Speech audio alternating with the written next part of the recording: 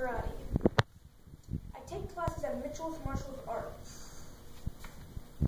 I started as a white belt at five years old. Now I'm a third. Now I am a third degree brown belt, and I am nine years old. Each new belt I get, I also get a certificate. There's some right there.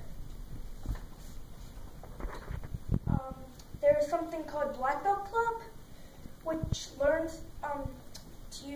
weapons. Here are two of them.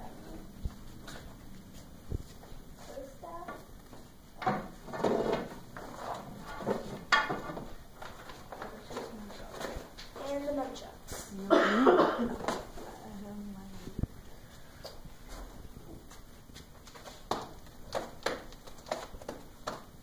That.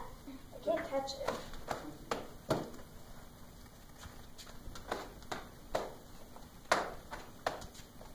And the um, okay. I'm just gonna show you a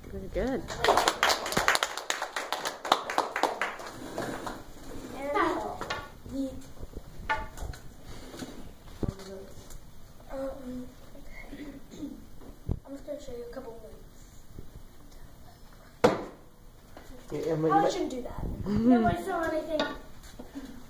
oh, I heard it or saw anything.